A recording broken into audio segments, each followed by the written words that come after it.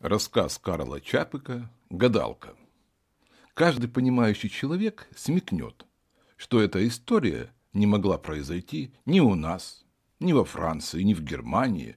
Судить и карать правонарушителей согласно букве закона, а отнюдь не по собственному разумению и совести.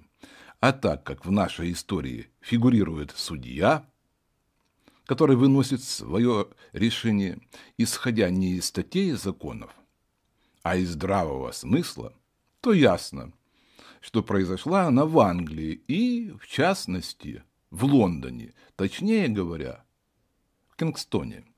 Или нет, постойте, кажется, в Бромтоне, а может быть, в Бейсуторе. В общем, где-то там судья, о котором пойдет речь, магистр права, мистер Келли – а женщину звали просто Мерс миссис Эдит Мерс. Да будет вам известно, что эта почтенная дама обратила на себя внимание полицейского комиссара Маклири. «Дорогая моя», — сказал однажды вечером Маклири своей супруге, «у меня не выходит из головы эта миссис Мерс. Хотел бы я знать, на какие средства она живет». Подумать только сейчас, в феврале, она посылает кухарку за спаржей. Кроме того, я выяснил, что у нее в день бывает около дюжины посетительниц, начиная с лавочницы и до герцогини. Я знаю, дорогая, вы скажете, что она, наверное, гадалка. А что, если это только ширма, например, для сводничества или шпионажа. Хотел бы я выяснить это дело. Хорошо, Боб, сказала бравая миссис Маклири. Представьте это мне. И вот на следующий день миссис Макс Лири, разумеется, без обручального кольца, легкомысленно одетая и завитая, как перезрелая девица, которой давно пора замуж, позвонила у дверей миссис Майерс и, войдя, сделала испуганное лицо. Ей пришлось немного подождать, пока миссис Майерс примет ее. «Садитесь, дитя мое», — сказала эта пожилая дама, внимательно разглядывая смущенную посетительницу. «Чем могу быть вам э, полезна?» «Я... я...» запинаясь, проговорила Маклири. «Я хотела бы... Завтра мне исполнится двадцать лет. Мне бы очень хотелось узнать свое будущее». «Ах, мисс, как извиняюсь, ваше имя?» Осведомилась миссис Мейерс и, схватив колоду карт, начала энергично тасовать их. Джонс прошептала миссис Макс Лири. «Дорогая мисс Джонс», — продолжала миссис Мейерс, — «вы ошиблись. Я не занимаюсь гаданием». «Так, иной раз случается, как всякой старухе, раскинуть карты кому-нибудь из знакомых. Снимите карты левой рукой и разложите их на пять кучек. Так, иногда для развлечения разложу карты, а вообще говоря, ага, — воскликнула она, переворачивая первую кучку. «Бубны! Это к деньгам! И валет черви! Отличные карты! Ах!» — сказала Маклири. «А что дальше?» «Бубновый валет!» — объявила миссис Мэрис, открывая вторую кучку. «Десятка пик! Это дорога! А вот трефы, трефы всегда означают неприятность, удар, но в конце червонная дама. Что это значит? Спросила миссис Маклири, старательно пяля глаза. Опять бубны? размышляла миссис Мерс. Над третьей кучкой дитя мое. Вас ждет богатство, и кому-то предстоит дальняя дорога. Не знаю еще, вам или кому-нибудь из ваших близких. Мне надо съездить в Сонгптем к тетке, сказала мисс Маклири. Нет, это дальняя дорога, молвила гадалка, открывая еще одну кучку карт. и вам будет мешать какой-то пожилой король. Наверное, папаша, воскликнула миссис Маклири. Ага. Вон она что, торжественно объявила гадалка, открыв последнюю кучку. Милая мисс Джонс, вам вышли самые счастливые карты, какие мне доводилось видеть.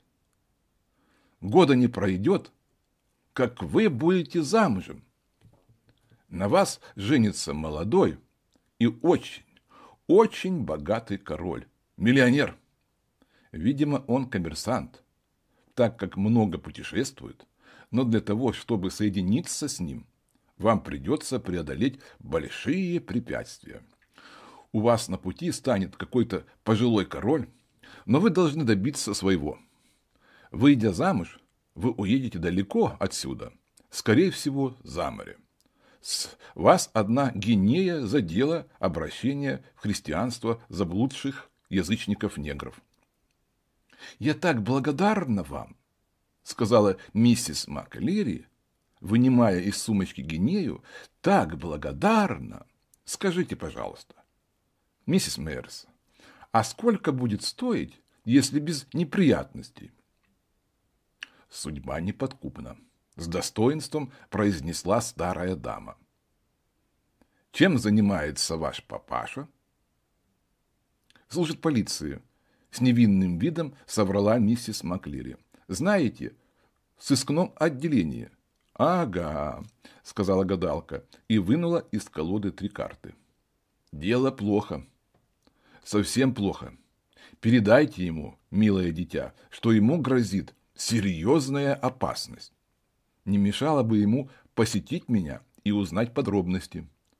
У меня бывают многие из Скоттера-Ярда, делятся своими горестями, а я им раскидываю карты. Так что вы пошлите ко мне своего папашу. Вы, кажется, сказали, что он служит в политической полиции. Мистер Джонс, передайте ему, что я буду ждать его. Всего хорошего, милая мисс Джонс. Следующее. «Это дело мне не нравится», — сказал мистер Маклири, задумчиво почесывая затылок. «Не нравится оно мне, Кэти. Эта дама слишком интересовалась вашим покойным папашей. Кроме того, фамилия ее не Мерс, а Мергофр. И родом она из Любика, чертова немка. Как бы поймать ее с поличным? Ставлю пять против одного, что она выведывает у людей сведения, до которых ей нет никакого дела. Знаете что? Я доложу об этом начальству. И мистер МакЛири действительно доложил начальству. Вопреки ожиданиям, начальство не пропустило мимо ушей его слова. И почтенная миссис Мэрс была вызвана к судье мистеру Келли. «Итак, мисс Мэрс», — сказал судья, — в чем там дело с вашим гаданием? Ах, сэр, ответила старая дама, надо же чем-то зарабатывать на жизнь. В моем возрасте не пойдешь плясать в варьете, хм, сказал судья. Но вас обвиняют в том, что вы плохо гадаете, милая миссис Мэрс. Это все равно, что вместо шоколада продавать плитки из глины. За гинею люди имеют право на настоящее гадание, отвечайте, почему вы беретесь гадать, не умея. Иные не жалуются. Оправдывалась старая дама. Я, видите ли, предсказываю людям то, что им нравится. И за такое удовольствие стоит заплатить несколько шиллингов. Случается, я угадываю. На днях одна дама сказала мне, «Мисс Мейерс, еще никто так верно не гадал мне, как вы. Она живет Сайм Джонс Вуд и разводится с мужем. Постойте, прервал ее судья. Против вас есть свидетельница, миссис Маклири. Расскажите, как было дело? Миссис Мерс предсказала мне по картам, бойко заговорила миссис Маклири, что не пройдет и года, как я выйду замуж. На мне, мол, женится молодой богач, я уеду с ним за океан. А почему именно за океан? поинтересовался судья, потому что во второй кучке была пиковая десятка, Миссис Мэрс сказала, что это дорога. Вздор, проворчал судья. Пиковая десятка – это надежда. Дорогу предвещает пиковый валет, а если с ним рядом ляжет семерка бубен, это значит дальняя дорога с денежным интересом. Меня не проведешь, миссис Мейерс. Вот вы нагадали свидетельнице, что не пройдет и года, как она выйдет за молодого богача, а она уже три года замужем за примерным полицейским комиссаром Маклири. Как вы объясните такую несообразность? Господи Боже! Невозмутимо ответила старая дама. Без промахов не обходится. Эта особа пришла ко мне фронтихой, а левая перчатка у нее была рваная. Значит, денег у нее не густо. А пыль в глаза пустить хочется. Сказала, что ей 20 лет, а самой 25. 24, воскликнула миссис Маклири. Это все равно. Видно было, что ей хочется замуж. Она корчила из себя барышню, поэтому я гадала ей на замужество и на богатого жениха. Я считала, что это для нее самое подходящее. А при чем тут трудности? Пожилой король из океанское путешествие. Для полноты впечатления, откровенно призналась миссис Мэрс. За Гинею надо наговорить с три короба. Достаточно, сказал судья. Миссис Мэрс, такое гадание – не что иное, как мошенничество. Гадать надо умеючи. В этом деле существуют разные теории, но имейте в виду, что десятка пик никогда не означает дороги. Приговариваю вас 50 фунтам штрафа на основании закона против фальсификации продуктов и продажи поддельных товаров. Кроме того, вас подозревают в шпионаже. В чем? Я полагаю, вы не сознаетесь. Как Бог свят! воскликнула мисс Мейерс, но судья прервал ее. Хватит. Вопрос решен. Поскольку вы иностранка и лицо без определенных занятий, органы политического надзора, используя предоставленное им право, высылают вас за пределы страны. Всего хорошего, миссис Мейерс. Благодарю вас, миссис Мака Лири. И не забудьте, миссис Мейерс, что такое гадание бессовестно и цинично. Вот ведь беда, вздохнула старая дама. А у меня только что начала создаваться клиентура. Спустя год судья Керри и комиссар Маклири встретились. Отличная погода, приветливо сказал судья. Кстати, как поживает миссис Маклири? Маклири поморщился. Видите ли, мистер Келли, не без смущения сказал он. Миссис Маклири, словом, мы в разводе. Да что вы! Удивился судья. Такая красивая молодая женщина. Вот в том-то и дело, проворчал Маклири. В нее ни с того ни с сего по уши влюбился один молодой франт, миллионер, торговец из Мельбурна.